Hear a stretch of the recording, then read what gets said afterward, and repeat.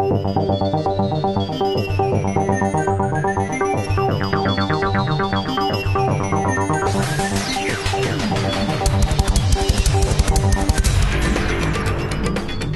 Auguro di una buona giornata, benvenuti a questa nuova edizione di Studio TG. Oggi apriamo con i dati che arrivano di fatto sul, per quanto riguarda l'Istat e per quanto riguarda il PIL, visto che c'è una crescita, sono eh, i dati che riguardano il primo trimestre del 2016, il prodotto interno lordo espresso in valori concatenati rispetto all'anno 2010 sono eh, aumentati dello 0,3% e quindi rispetto eh, al trimestre precedente, mentre dell'1% nei confronti del primo trimestre trimestre eh, del 2015. Questa è la stima preliminare diffusa dall'Istat e quindi sono buone eh, notizie, lo si capisce eh, da questo 1%, che per quanto riguarda il mondo del lavoro sono dati che naturalmente vanno poi messi nel contesto, ma anche nel contesto europeo è stato un, valore positivo per quanto riguarda i termini congiunturali, perché sono ad esempio dello 0,5 in Francia, dello 0,4 nel Regno Unito e dello 0,1 negli Stati Uniti. Il nostro 0,3 rispetto appunto all'andamento eh, quinquennale, quindi si inserisce eh, perfettamente la, la, media europea. C'è però chi il lavoro insomma in qualche modo mh, eh, lo contesta, almeno le leggi sul lavoro per quanto riguarda soprattutto la tassazione e sono ad esempio il, gli artigiani eh, che valutano positivamente, almeno quelli della CNA, almeno per quanto riguarda Firenze, il, le, le, azioni che sono state intraprese dal governo proprio per ridurre la tassazione in questi anni, primo su tutti il provvedimento degli 80 euro, eh, però ancora la nostra città, in modo particolare Firenze, in uno studio eh, redatto recentemente dalla CNA a livello nazionale si pone come la quarta eh, città più tassata dal, dal punto di vista delle imprese artigiane eh, d'Italia e quindi ci vuole uniformità, almeno questo è quello che chiede anche Franco Vichi, direttore della CNA di Firenze, ieri era ospite nei nostri studi, ascoltiamo le sue parole.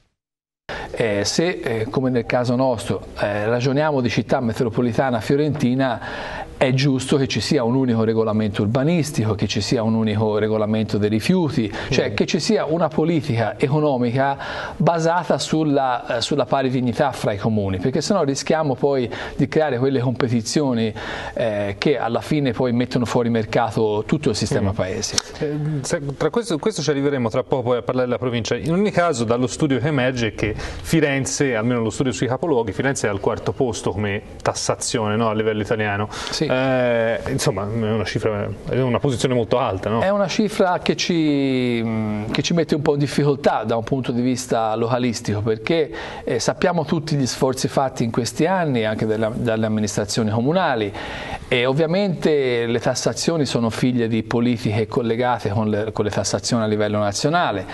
Però qui siamo arrivati a un punto dire, di svolta, cioè o qui ci si mette in testa uh, definitivamente che bisogna abbassare drasticamente la tassazione perché Firenze per esempio è al quarto posto con Catania al 68,5%, quindi mm. non, non, voglio citare poi Bologna che è al secondo posto, cioè a cifre quasi che, che oscillano al 70%. Quindi Bologna quasi il 72%. Quasi il 70%. Abbiamo fatto proprio una statistica su un'impresa con 5 dipendenti e abbiamo visto che eh, praticamente fino al 7 di settembre di ogni anno, quindi dell'anno 2015, le nostre imprese, quella impresa ha pagato le tasse fino a, fino a quella data lì. Dall'8 settembre fino al 31 dicembre può ragionare di guadagnare qualcosa.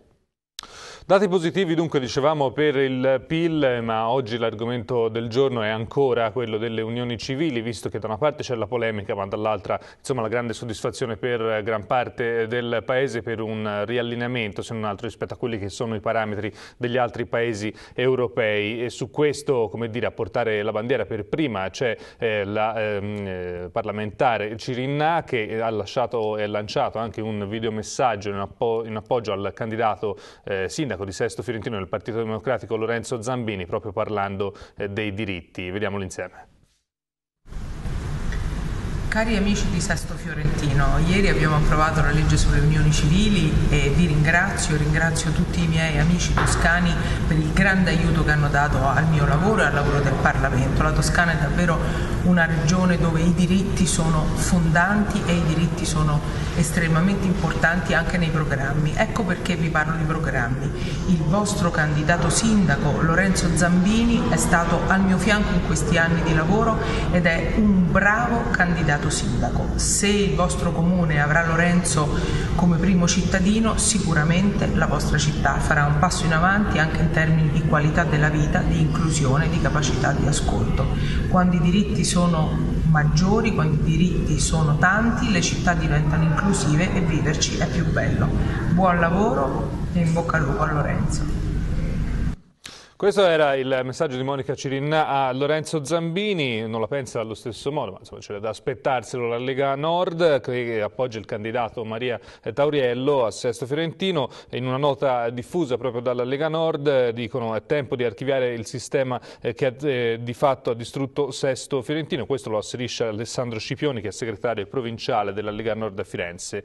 Eh, tempo di archiviare le faide partigiani per le quali è stato sacrificato il bene collettivo è tempo di archiviare la mala gestione foriera di tante inefficienze, sperperi, opere inutili. È tempo di archiviare chi ha ridotto Sesto in uno stato comatoso dal quale lotteremo per farla risorgere. Queste le parole eh, di Scipioni, che poi ha parlato anche del buco di bilancio lasciato in eredità, eh, che quindi impone vincoli stretti in termini di investimenti, eh, però le, le proposte sono quelle di valorizzare il patrimonio storico e artistico di Sesto Fiorentino, come il Palazzo Pretorio, e anche di battersi per evitare le infrastrutture strutture impattanti e nocive come aeroporto e inceneritore eh, che quindi ehm, porti ad essere un assesto, dicono, eh, più vicina ai bisogni reali della sua eh, comunità. E c'è infine la soddisfazione per aver raggiunto un, un, accordo comune con Forza Italia e Fratelli d'Italia sul nome eh, di ehm, appunto Maria Tauriello. E poi la frase conclusiva come dire, richiama a un leitmotiv ormai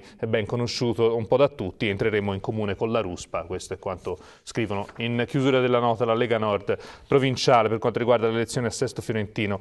Um, qualche giorno fa abbiamo parlato del caporalato, una situazione davvero eh, imbarazzante per la nostra regione, visto che oltre 300 migranti venivano prelevati ogni giorno da un centro di accoglienza di Prato per essere portati nei campi del Chianti a lavorare nelle vigne in situazioni molto vicine a quelle del vero e proprio schiavismo. Di questo ha parlato anche oggi la, il Ministro all'Agricoltura eh, del Governo, Martini, mattina il primo vero tema contro il caporalato, detto sono i controlli sul territorio, il fatto che siano aumentati del 50% tra il 2014 e il 2015 è un dato di grande significato, così ha sottolineato il Ministro dell'Agricoltura Maurizio Martina durante la presentazione del terzo rapporto sulle agromafie e il caporalato. Il fenomeno del caporalato, ha sottolineato, va sradicato e il governo è in campo con tutta l'attenzione e la forza. Su questo è intervenuto poi anche il leader della CGL Camusso che ha detto che però bisogna fare di più. Intanto cambiamo argomento perché il, la, c'è discussione, come sappiamo, anche in vista delle elezioni a Sesto per quanto riguarda l'ampliamento eh, di Peretola, ma insomma arrivano i primi dati di Toscana Aeroporti per quanto riguarda il primo trimestre eh, del 2016 e il segno più, le percentuali sia di passeggeri che di incassi è davvero notevole visto che segna un nuovo record. Vediamo. Anche tra gli aeroporti c'è chi cammina e chi vola e basta guardare i risultati del bilancio di Toscana Aeroporti per i primi mesi del 2016 per capire che la holding Firenze Pisa appartiene alla seconda categoria. I passeggeri nel primo trimestre sono cresciuti del 5,1% rispetto al 2015. Le cifre sono espresse nel resoconto intermedio di gestione presentato e approvato da Toscana Aeroporti. I passeggeri sono cresciuti sia a Pisa del 4% che a Firenze del 7%, cifre che chiariscono anche l'attrattiva turistica che la nostra regione, in particolare Firenze, rappresentano in questo momento. Sono record registrati dopo la buonannata 2015, che riguardano però non soltanto il numero di utenti, ma anche i ricavi operativi, che sono stati di 22,4 milioni di euro, pari ad oltre il 10% in più rispetto al primo trimestre dell'anno scorso. Inoltre, considerando che per la stagione estiva sono previsti 14 nuovi collegamenti, tra cui il volo giornaliero Pisa-Doha della Qatar Airways ed il rafforzamento del numero di frequenze su rotte già esistenti, i numeri sembrano destinati a crescere ancora. Anche grazie a questi numeri, probabilmente, migliora anche la situazione dei dipendenti di Toscana Aeroporti, per cui la società e i sindacati hanno raggiunto un accordo per la stabilizzazione a tempo indeterminato di 24 dipendenti e l'incremento di orario per altri 81 tra Firenze e Pisa. Il 2016 è proseguito in continuità con i già eccellenti risultati conseguiti conseguiti nel 2015, ha affermato il presidente Marco Carrai, confermando la validità della scelta strategica dell'integrazione tra gli scali di Pisa e di Firenze. Il primo trimestre dell'anno, solitamente condizionato da fenomeni di stagionalità, ha infatti registrato un nuovo record di traffico passeggeri e positive performance economiche. Questi risultati, uniti alle nuove importanti destinazioni annunciate per la stagione estiva, sono elementi che ci consentono di guardare con fiducia al 2016.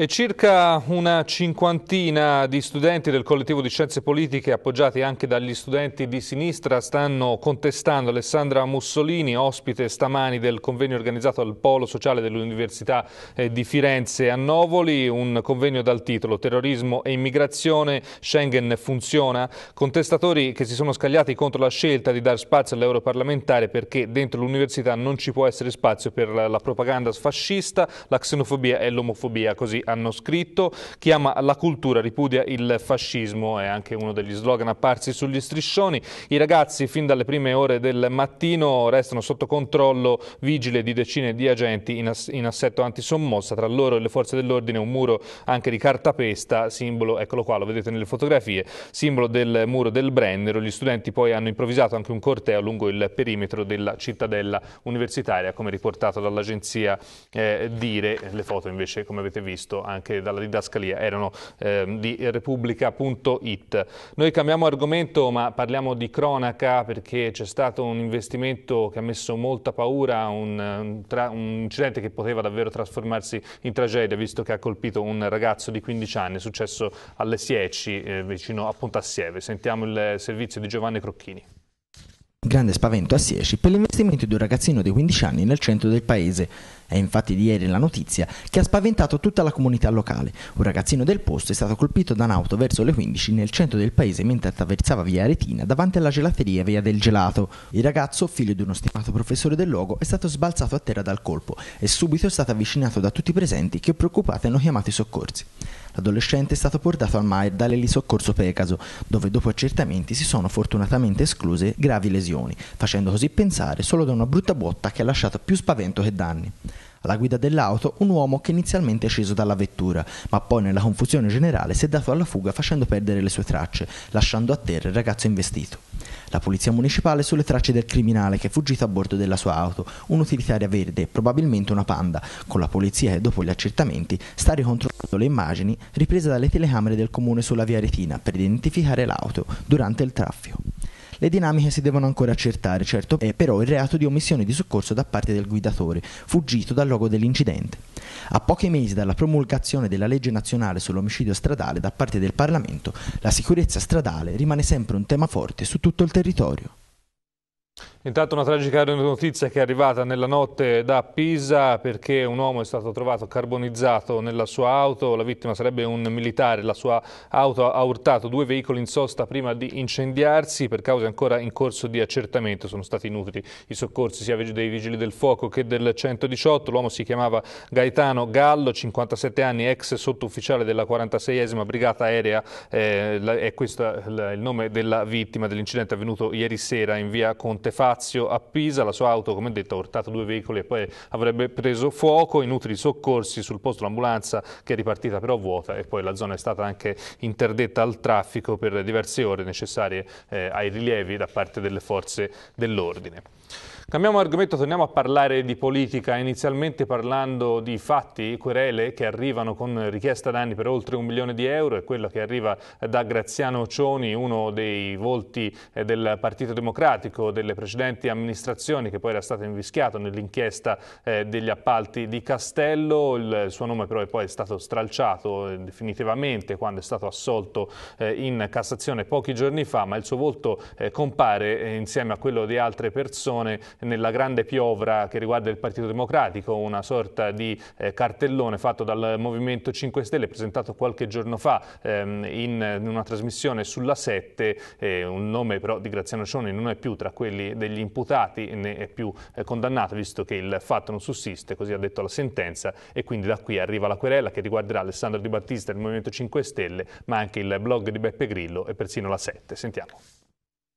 La piovra, essere tentacolare dal sapore mitologico, è metafora della mafia e della criminalità organizzata, che ovunque può arrivare per decidere e sovvertire i sistemi, per accrocchiare e mettere a posto a proprio vantaggio. Il paragone non detto, ma disegnato a caratteri cubitali, è quello che il Movimento 5 Stelle ha fatto tra l'animale degli abissi e il Partito Democratico, mettendo su ogni tentacolo i nomi e le foto di amministratori DEM indagati e condannati. Si potrebbe discutere del cattivo gusto o dello scarso tatto, ma è meglio discutere dei fatti, ovvero di quella querela che scatterà proprio contro uno dei leader leader del Movimento 5 Stelle, Alessandro Di Battista, che durante la trasmissione Piazza Pulita sulla 7, condotta da Corrado Formigli, ha presentato per primo la grande piovra PD. Una piovra però zeppa di imprecisioni, visto che nel mezzo ci stanno i nomi di persone non più all'interno del Partito Democratico, di indagati e non condannati, e persino di persone assolte perché in assenza di reato. Uno di questi è Graziano Cioni, ex sceriffo assessore della Giunta di Firenze, assolto proprio pochi giorni fa, ma comunque prima della trasmissione di Formigli. Cioni, insieme a Biagi, erano indagati nell'inchiesta di Castello a Firenze ma sono entrambi stati assolti in Cassazione con formula piena. Il nome di Cioni e quello del collega sono apparsi spesso in tv durante l'intervista di Battista e per questo lo sceriffo si è infuriato. Ora basta, è barbarie, ha scritto su Facebook prima di dare mandato ai suoi legali di querelare di Battista, la 7 e anche il blog di Beppe Grillo dove restano i nomi con le passate condanne, con una richiesta di risarcimento danni di un milione di euro. Infine Cioni ha chiesto a Di Battista di rinunciare all'immunità parlamentare e di assumersi le sue responsabilità. Vedremo, vedremo, come andrà a finire. Intanto eh, c'è anche la richiesta di conferma delle condanne per quanto riguarda il processo eh, del Forteto che approda in appello. Dura requisitoria del eh, pubblico ministero in appello. La richiesta riguarda la sentenza del 2015 a carico del guru Rodolfo Fiesoli e di altri suoi 15 fedelissimi. Eh, di fatto i 23 imputati il, set, il 17 giugno dell'anno scorso furono condannati, ehm, dei 23 imputati ne furono condannati condannati 16 in primo grado al termine della requisitoria nel corso del processo d'appello a Firenze il PM Ornella Galeotti ha chiesto di confermare la sentenza. Eh, Rodolfo Fiesoli fu condannato a 17 anni e 6 mesi per la violenza sessuale anche su minorenni in affidamento, maltrattamenti e violenza di gruppo. La richiesta delle PM riguarda anche la condanna a 8, me- a 8 mesi per l'ideologo del Forteto, Luigi Goffredi, e quelle per gli altri collaboratori che ebbero condanne per maltrattamenti non inferiori a un anno. Sulla base dell'inchiesta inchiesta nella comunità sarebbero state consumate violenze e maltrattamenti nei confronti dei giovanissimi ospiti della struttura, come sappiamo, come spesso abbiamo parlato. Più che leggo la sentenza di primo grado, più mi convinco che era giusta, ha detto ai giudici il pubblico ministero Ornella Galeotti. Vedremo anche qui come andrà a finire la sentenza d'appello. Intanto noi cambiamo argomento, parliamo delle sfide che riguarda l'informazione, che è soprattutto quella del digitale, di stare al passo coi tempi e soprattutto per quanto riguarda l'informazione cartacea e quindi i quotidiani che questa mattina si sono riuniti in qualche modo in un convegno organizzato dal Corecom, dove era presente anche ovviamente il presidente del Corecom eh, Vannini che ha parlato ai nostri microfoni. Sentiamo. Presidente, questa mattina lei ha presentato uno studio, di cosa si tratta? Si tratta del completamento di un'attività di censimento della web press che abbiamo iniziato due anni fa in collaborazione con l'Università di Firenze. Il Coricon si sta caratterizzando un po' per le eh, attività in termini di ripetitività annuale, come Internet Minori accompagna il mandato del Coricon fin dall'inizio, anche questa attività di censimento della comunicazione 2.0 oggi trova il punto di sintesi. Abbiamo fatto un anno e mezzo fa la censimento censimento di tutte le web tv, web radio, web press, Insieme a questo censimento c'è questo lavoro di approfondimento che è relativo appunto a come viene utilizzata la comunicazione 2.0 dai giornali tradizionali con un'indagine sul campo esplorativa nelle, relativa alle principali testate giornalistiche, le mainstream eh, della, della nostra regione, Repubblica, Corriere Fiorentino, La Nazione e il Tirreno approfondire l'utilizzazione della comunicazione 2.0, quindi non solo la comunicazione cartacea, ma la comunicazione tramite il portale e la comunicazione tramite i social. Queste tre forme di comunicazione congiunta e integrata, come vengono organizzate all'interno delle redazioni, un'indagine sul campo con interviste, eh, dati statistici, eh, percentuali importanti che mettono a risalto il ruolo nuovo del giornalista social giornalista solo, solo pochissimi che sono riottosi ancora a non utilizzare la comunicazione 2.0, alcuni studi le indicano soltanto del 9% i giornalisti che non, appunto, che non utilizzano le, i social in termini di comunicazione e si crea un problema chiaramente questi giornalisti lavorano H24, quindi una volta c'era casa e bottega, oggi c'è casa e redazione, la possibilità di aggiornare le notizie, dover inserire aggiornamenti in qualsiasi momento della giornata eh, fa sì che questo lavoro sono aumentati tecnicamente i cicli anche di produzione lavorativa, quindi spazi fluidi perché la comunicazione è fluida, corre in rete e c'è una situazione di developing news come viene chiamata, quindi una comunicazione che non, è soltanto eh, statica ma è molto dinamica, interattiva con i lettori che producono essi stessi comunicazione a favore dei giornalisti. Tema della veridicità delle fonti, dell'analisi delle situazioni, di evitare situazioni di fake di, in entrata da parte di informazioni che provengono dal mondo dei social, dai lettori che interattivamente interloquiscono con, la, con le testate delle, dei giornali. C'è una mostra davvero particolare che è quella all'aperto al Forte Belvedere, più che una mostra sono vere e proprie opere installate proprio al Forte Belvedere di un artista ormai noto a Firenze, Jean Fabre, eh, che eh, in qualche modo ha donato queste opere eh, alla vista di tutti i passanti che eh, volessero eh, naturalmente soffermarsi a guardarle, visto anche il loro previo artistico ma anche sematico, insomma di significato. C'era eh, per l'inaugurazione anche il sindaco Nardella. Vediamo il servizio. In piazza Signoria l'enorme tartaruga dorata e il suo cavaliere dialogano con il monumento equestre di Cosimo I, mentre sull'arengario il Davide e la Giuditta si confrontano con l'uomo che misura le nuvole. Spiritual Guards di Jan Fabre è una delle esposizioni in spazi pubblici più complesse e articolate che l'artista fiammingo abbia mai realizzato, collocando più di 100 opere in tre luoghi fiorentini di eccezionale valore storico e artistico, Piazza Signoria, Palazzo Vecchio e Forte Belvedere. Per gli antichi bastioni esposizioni sono state scelte installazioni di gusci di scarabei e sculture autoritratto dorate dell'artista. Il volto dell'uomo è ispirato al mio e a quello di mio zio, a cui ho voluto rendere omaggio. Tutte le opere, i personaggi e i volti che vedete sono come delle maschere che narrano dell'ambiguità dell'essere uno o un altro e si rifanno anche a concetti del passato, come il fatto, appunto, che ognuno di noi ha diversi aspetti, diverse maschere everybody somebody else. La mostra al Forte Belvedere è curata da Melania Rossa e Joanna De Vos con il direttore artistico del progetto Sergio Risaliti. Dopo le mostre di Giuseppe Penone e Anthony Gormley, quella di Jan Fabre conferma il nuovo rinascimento di Firenze, punto d'incontro di linguaggi artistici di epoche diverse. A Firenze in questi anni stanno venendo i più grandi artisti del mondo, viventi, eh, Jan Fabre è uno di questi, per misurarsi con i valori, i concetti, i linguaggi dei grandi artisti dell'umanesimo e del Rinascimento. La mostra resterà aperta al pubblico fino al 2 ottobre. E intanto potrebbe essere un accordo raggiunto quello tra ehm, il capogruppo del Movimento 5 Stelle in Regione Andrea Quartini e l'assessorato alla sanità visto che si tratta di alcuni pazienti affetti da fibromialgie eh, che potrebbero essere curati in, eh, tutti nella stessa struttura e quindi seguiti più da vicino, almeno questo è quanto spera anche proprio il consigliere eh, del, del, Movimento 5 Stelle Andrea Quartini che ha proposto eh, questa, questa mozione. Sentiamo le sue parole Погнали!